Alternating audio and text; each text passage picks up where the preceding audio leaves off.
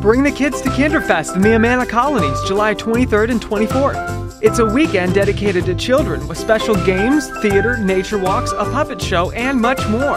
It's fun for the entire family at Kinderfest in the Amana Colonies.